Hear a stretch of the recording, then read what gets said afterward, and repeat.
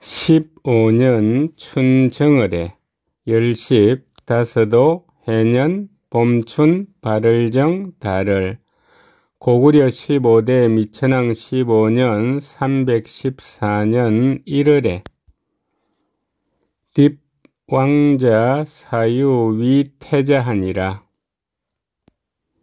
설립 임금왕 아들자 이사 말미암을유 할위 사물위 클태 아들자. 설립 임금왕 아들자 이사. 말미암을유 사유는 고국, 고국 원왕입니다. 할위 사물위 클태 아들자 왕자 사유를 세워 태자로 삼았다. 추 9월에 남침 대방군 하니라. 가을추 업구 달을. 미천왕 15년 314년 9월에 남영남 침노할침 띠대 모방 고을군 남영남 침노할침 띠대 모방 고을군 남쪽으로 대방군을 침략하였다. 16년 춘 2월에 공파 현도성하니 열십 여섯육 해년 봄춘 두이 달을 미천왕 16년 315년 2월에 칠공 깨뜨릴 파 거물현 호랑이도 재성.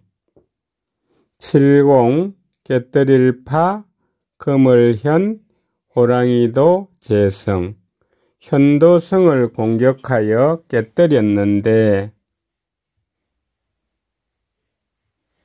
살핵 심중하니라. 죽일 살, 얻을 핵, 심할 심, 매우 심, 무리 중, 마늘 중, 죽일 살, 얻을 핵, 심할 심, 매우 심, 무리 중, 마늘 중, 죽이거나 사로잡은 사람이 매우 많았다. 추 8월에 성패우 동북하니라. 가을추 여덟팔 달을 미천왕 16년 315년 8월에 별성 살별패 성패는 해성입니다.